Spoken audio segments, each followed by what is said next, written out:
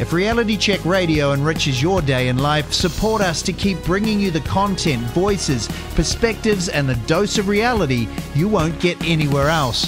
Visit www.realitycheck.radio forward slash donate. Shane Jones is back on the crunch. A lot has happened since his last appearance, including Ratana, Waitangi, and of course, Stuff attacking ministers like Shane for daring to engage with Reality Check Radio. Shane will undoubtedly deliver some good zingers, which will keep all our social media team busy making shareables. Shane's on the line from the Beehive now. Welcome back to the Crunch, Shane Jones. Uh, good to have you back here again. I think the last time we spoke was just before Christmas, wasn't it? Yes, no, uh, you've got me here in Wellington. Today the House will be sitting, and it's a pleasure to engage, uh, yeah, yet again. Well, it's interesting because uh, Tuesday uh, morning, Glenn McConnell, the stuff reporter, wrote an article about this shock horror. Ministers of the government are engaging and and being interviewed by Reality Check Radio. It's got some sort of grand conspiracy. Um, what What are your thoughts on his little episode and rant? Well, look, I um, uh, it was uh, my attention was directed towards it. Um, it must be a slow news day. It ought not to be a matter of newsworthiness when a politician talks to a whole host of um, uh, media orientated outlets. I mean, people are consuming their information in such different ways today. But there's a narrative uh, that's alive and well and kicking. And it's driven in many respects by wokeism. And I'll give you one small example. Hmm. The notion that um, my colleague Casey Costello should hold back on prosecuting the legislation through the House to overturn those awkward and totally unnecessary and quite destructive uh, changes to to smoking law driven by the Labor Party over the last couple of years. And that mm should be put on the taihoa until such time the Waitangi Tribunal feasts at the trough of judicial activism. Now, I was really disappointed that that narrative has been perpetuated by the media. The Waitangi Tribunal is a recommendatory body. Mm. And we had a mandate given to us by the electorate to change smoking laws. Uh, laws, I might say, have never ever actually been implemented. So that's a tiny example where we feel that there are no shortage of people trying to leg trip uh, what we conceive to be our democratic mandate to get certain things changed and underway. It's like the the mainstream media. I mean, they were bleating to to the politicians a couple of weeks ago about how dreadful it is that they've got competition and it's awful. And please, can you regulate the space and tilt the playing field in their favour? Uh, again, that's another piece of Labor legislation that Willie Jackson, who should know better about media matters, um, has been pushing through. Yeah, yeah, yeah, yeah. And I saw that they were at the uh, select committee. Well, look, um, in terms of the overarching approach to New Zealand First, uh, no one has articulated it more lucidly um, than Winston Peters in terms of um, the the ups and downs and the disappointments and the frustrations that we've had during the three year period that we were banished from Parliament and the scant coverage that our party received from uh, so said uh, Fourth Estate. Yeah, particularly stuff. Uh, and Glenn McConnell, he seems to have a running battle with Winston. I'm not sure he's ever going to win that battle with Winston. Winston's far too cunning to, to, to oh, do well, that. Over the, yeah, over the years, I've watched heaps of journos um, square up against Winston and uh, obviously, my loyalty is with my leader, and um, he knows how to deal with the, the different uh, verbal sword plays that emerge from time to time when he's dealing with the media. The thrust, though, seems to be from Glenn McConnell's article is how dare ministers speak to other media other than us. Mm, which mm. is rather arrogant of of him. I mean, Reality Check Radio is grateful to Stuff for promoting the station, and and that ministers come on like yourself and talk to us. So I thought David Seymour's comment about he talks to anybody, even niche players like stuff, was hilarious. Yeah, yeah, yeah. Ah, look, I've learned to my cost, mate. If you get too hung up on the personality of the journo, then that becomes somewhat obsessive. I just I just shrug my shoulders. It is what it is. And as you know, I've come off second best in various blows with people in the fourth estate, but uh, the, the, the market and the landscape is inordinately different than when I first washed up in politics in 2005. But then, as you'd know, mate, I was already active as the chairman of the Māori Fisheries Commission, along with Sir Tipene O'Regan, have our big blows way back then. Mm, mm. So, uh, no, no, I'll leave the young fella to his own um, peregrinations. And uh, I know that Rangatira Winston Peters is more than capable of looking after himself. Exactly.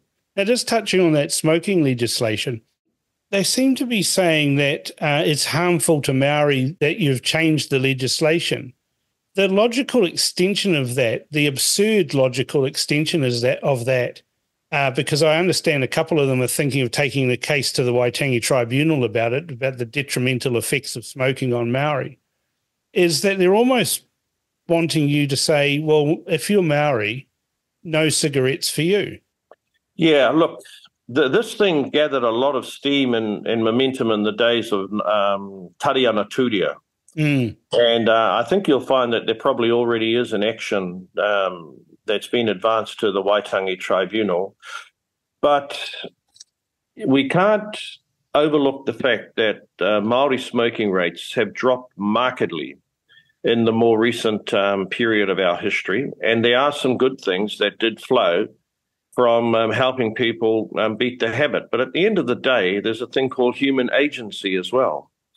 And um, I just don't think that you can ever strip uh, Maori, Pākehā, Asian, black, blue, brindle, whatever, whatever group you want to focus on, mate. Mm. Uh, there's a thing called free will, and that goes right back to the stories about humanity in the Bible. And uh, there's no way our party is ever going to agree with some sort of blanket regulation uh, uh, where you make, um, if you're of Maori descent, you make smoking illegal. Anyway, the, these rules that we're changing, it would have led for the gangs being in control of the cigarette industry, anyhow. Well, totally. I mean, you've got a, a situation now, you know, laughably, where tobacco is actually more expensive than cannabis. Oh, right. Okay. Right. you know, and so you're almost saying to the gangs, hey, guys, uh, transition out of cannabis and into tobacco Mm. You know, and, and you know that.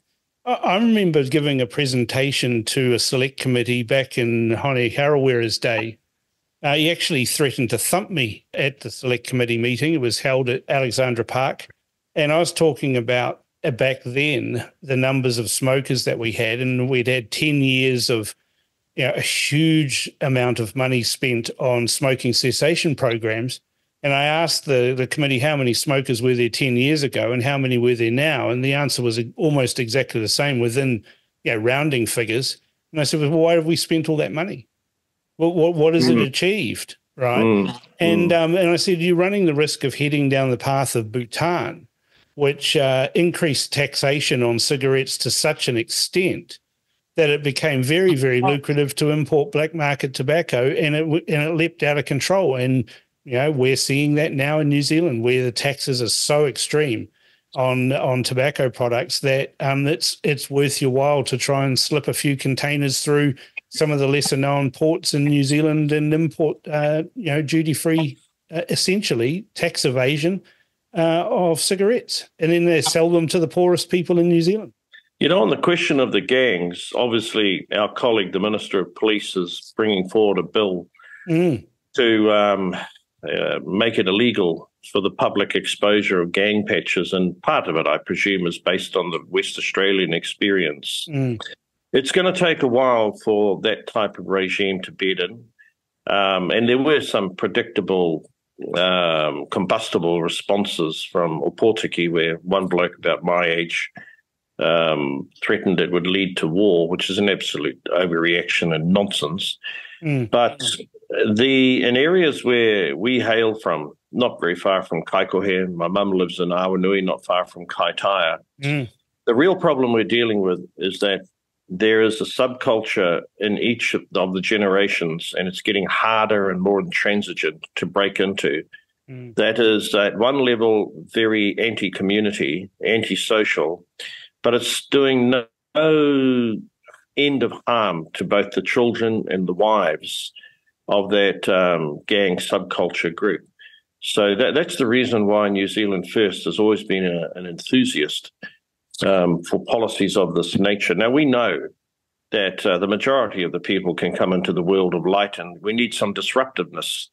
And I just wonder if too many of the um, gang-related people got let out of prison or given an option to serve their sentence in the community, and um, they've continued to, I don't know, mobilize, recruit, because uh, gang members membership has gone up it's um, not exclusively um, in my area, in the Ngāpuhi Nui Tonu area. It's amongst the PI community and uh, other elements. And I'm sure that uh, within the ethnic communities, there's gang formation as well.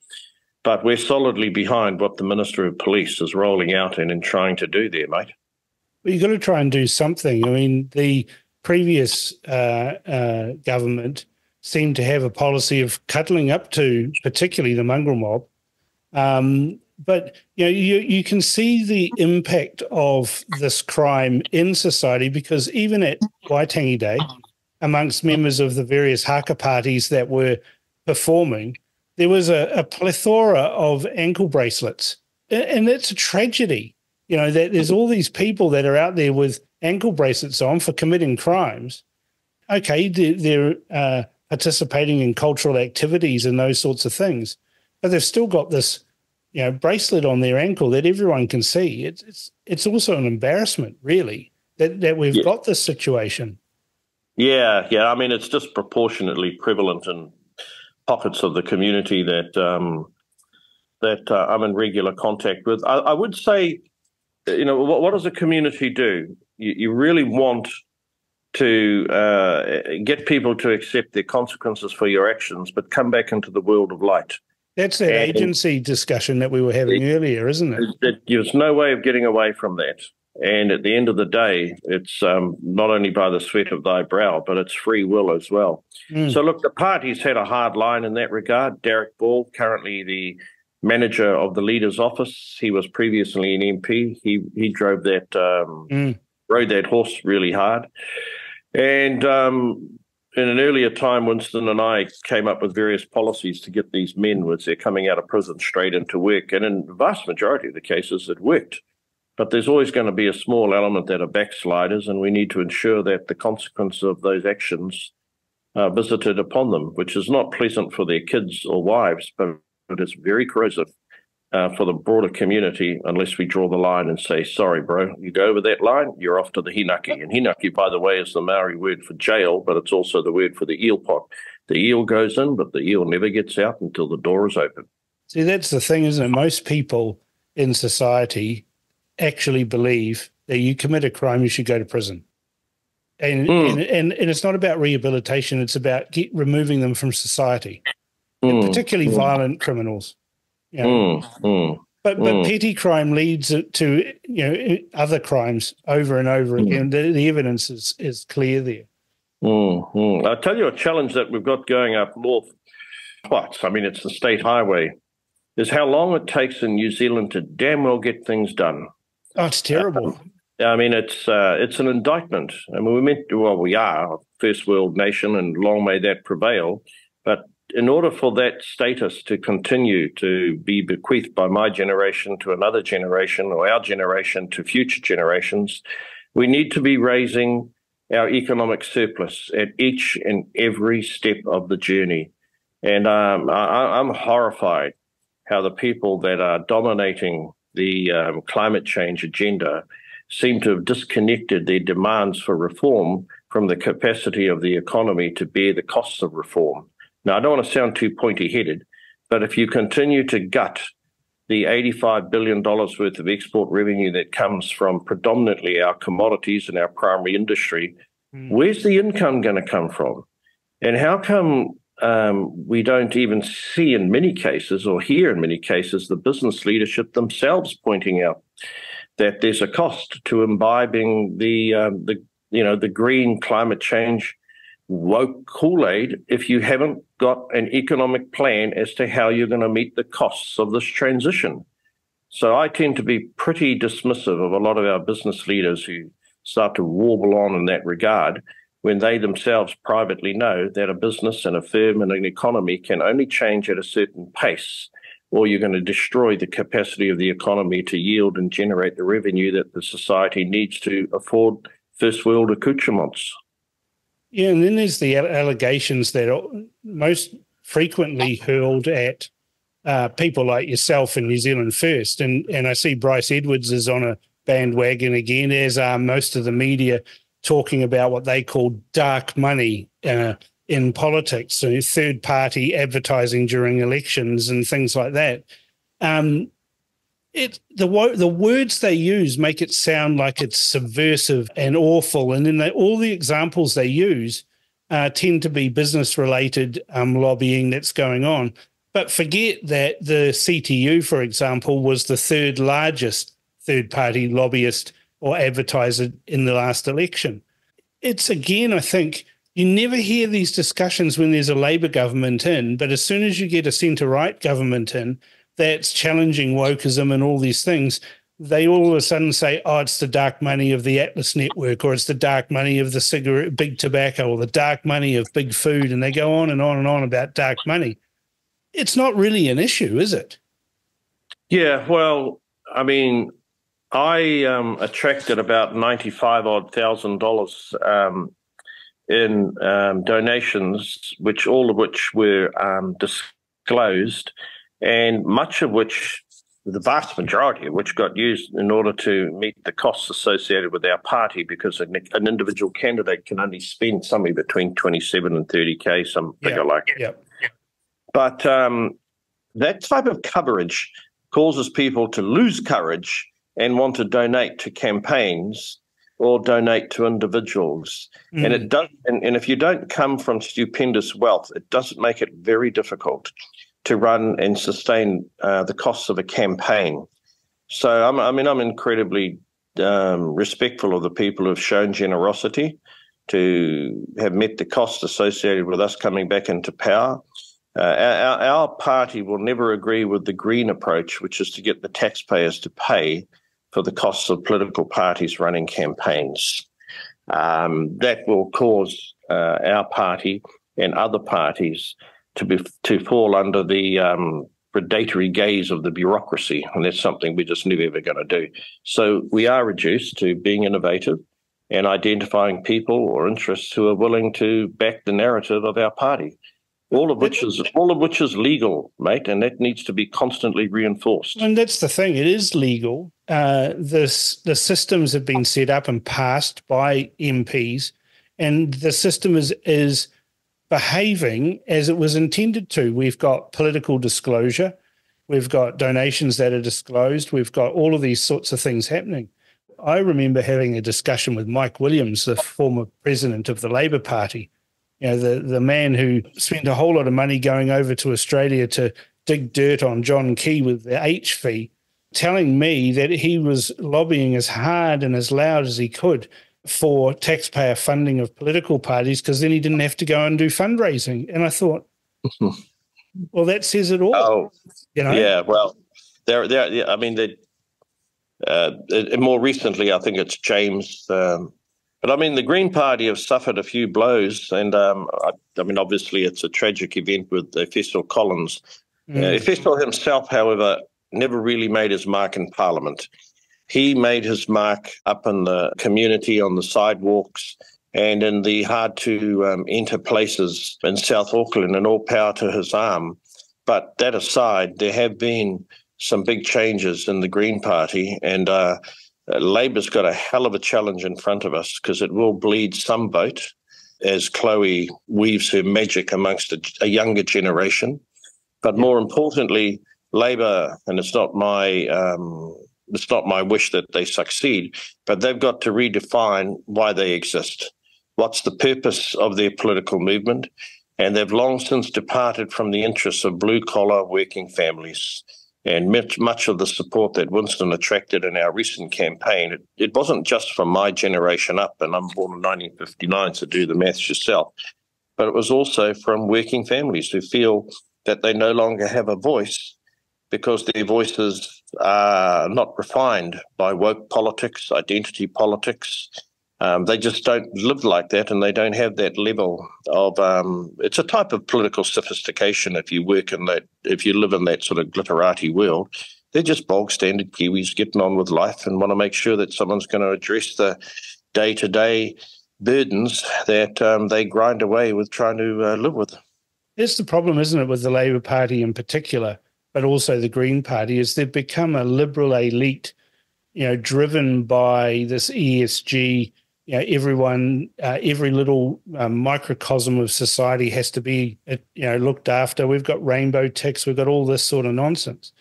I always go back to when I was running a bit of a roading crew in Man- in the old Manukau city, and we had a, a new guy came in. He was a, a Pākehā. Uh, the other three guys that were working in the roading crew were Maori, and and he was being a little bit, you know, untoward.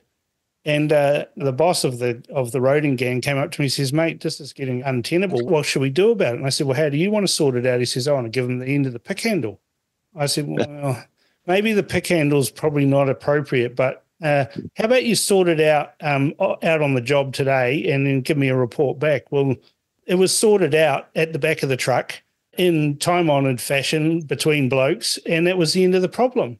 These days, you know, you'd have uh, all sorts of reports that had to be filled in and health and safety stuff would just be ridiculous.